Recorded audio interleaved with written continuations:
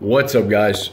So, something that I do all the time before I go into the gym is I whip out my packet of gum and I put two pieces of gum. I usually chew Trident. Now, quick tip if you're gonna chew gum is you want a gum that has Xylitol inside of it. Now, I haven't found many brands, so you, my camera's not gonna zoom in.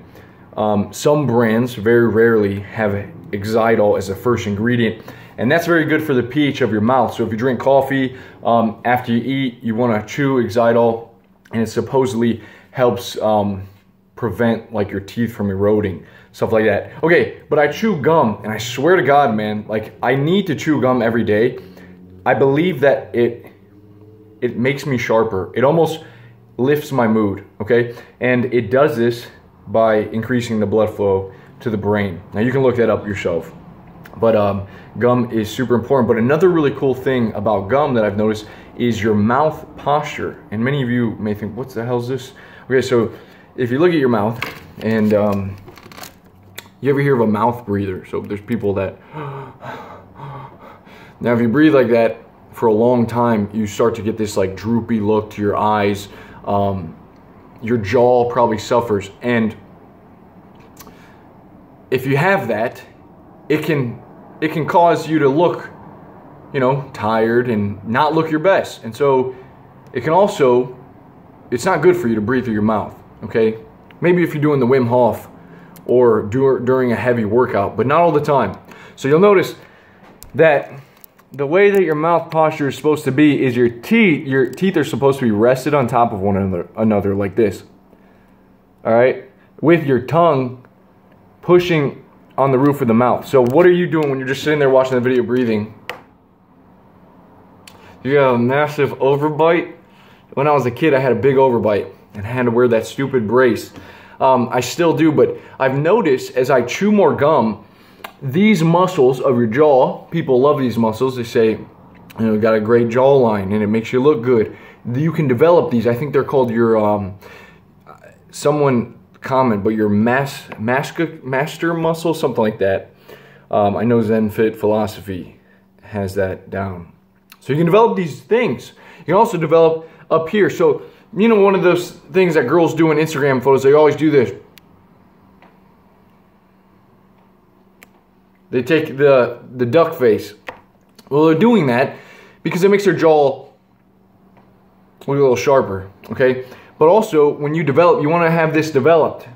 Um, and I've been chewing gum and I've noticed that my resting posture, you can actually improve your jawline, guys. You can actually improve your damn face.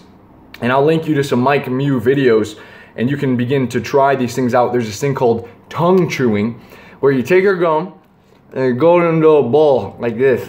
And then instead of just munching on it, you're gonna put it in the right in the middle and push it with your tongue up against the roof of your mouth like this.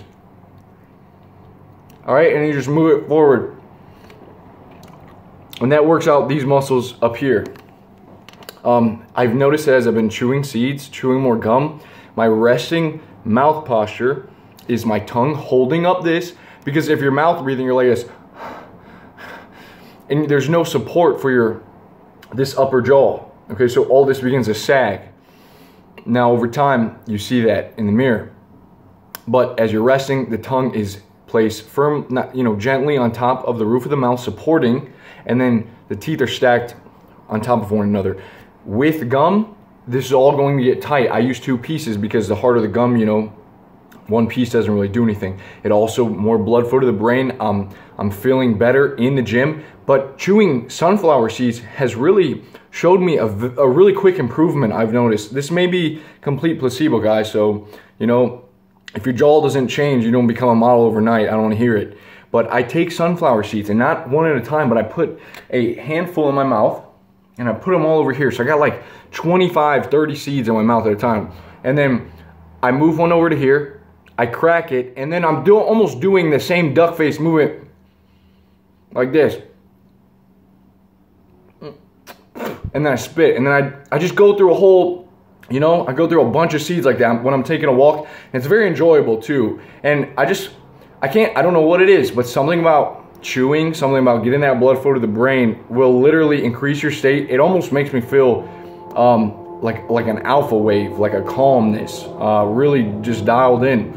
I can pay attention to the audiobooks that I'm listening to. So give it a shot. Again, check out the the Mike Mew video because he's the only guy talking about this kind of stuff that I know of, and it works. But also gum and seeds, really beneficial. So give it a shot, man. See you guys soon. Peace.